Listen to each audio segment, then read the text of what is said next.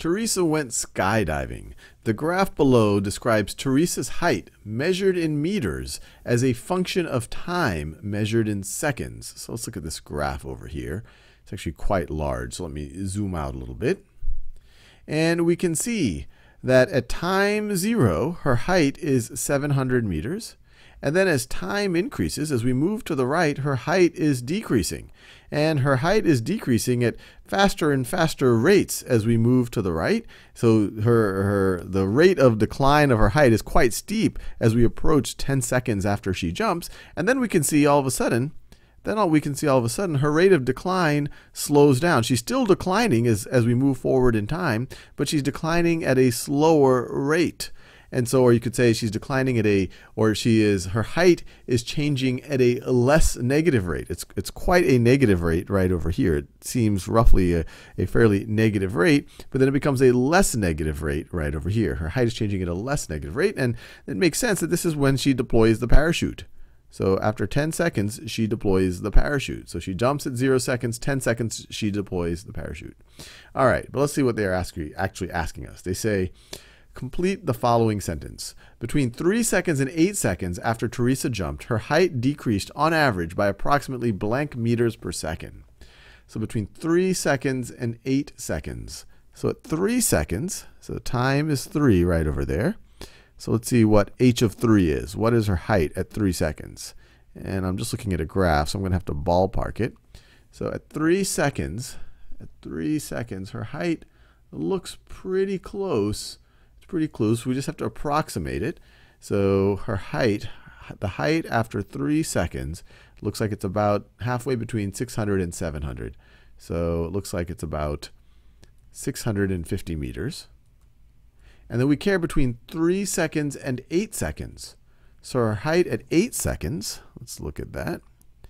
At 8 seconds, let's see, this looks about halfway. It looks about halfway between 350 between 350 and 400. So I'll say her height at 8 seconds. Actually, since I'm approximating it, let me put a little squiggly equal sign here. Her height after 8 seconds looks like it's approximately 300 and looks approximately 375 meters. 375 meters. So what is her average rate of change? Her height decreased on average by approximately. So we what we want to do is we, figure, we want to figure out the average rate of change, which you could view as the slope of the line that connects these two points. The slope of this line is going to be her average rate of change. So let's think about that. Her average rate of change, her change in height over the change in time for that interval. Well, her change in height after at 8 seconds, she is at, let me write it this way. Her height at 8 seconds minus her height at 3 seconds. So this is going to be her change in height. And the change in time is 8 seconds. She finishes at 8 seconds minus where she started, or the interval that we care about, starting at 3 seconds. And so h of 8, we already said, this is approximately 375. h of 3, this is 650.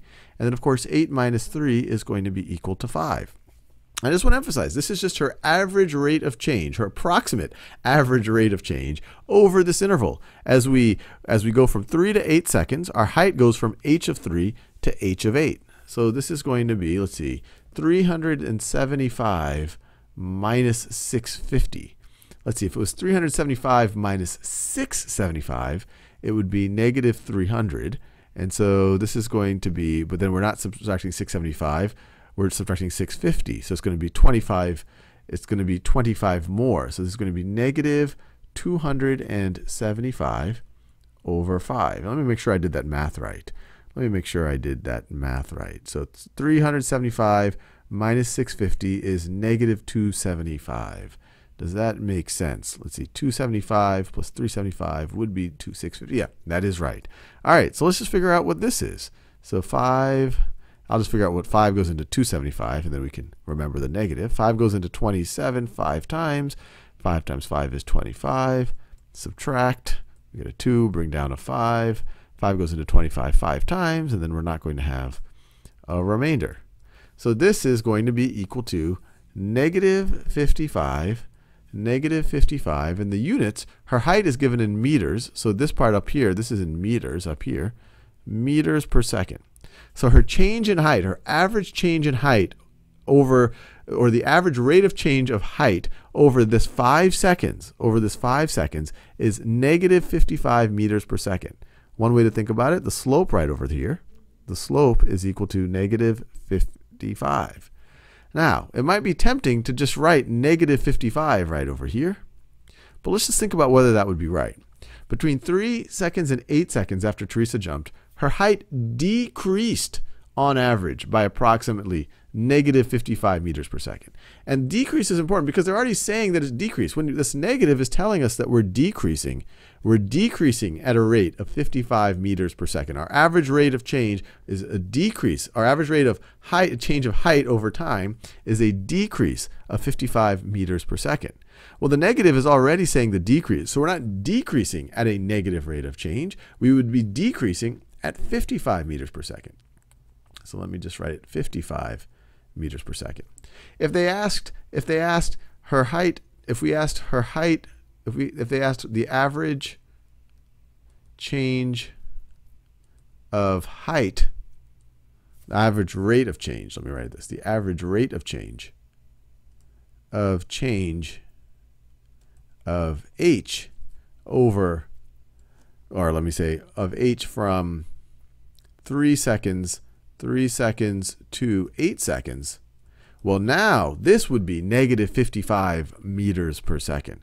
But when they're saying that her height decreased, that's already taking the negative into consideration. They're saying it's definitely decreasing. That's what the negative is already telling us. It's decreasing by a rate of 55 meters per second. Hopefully that makes some sense.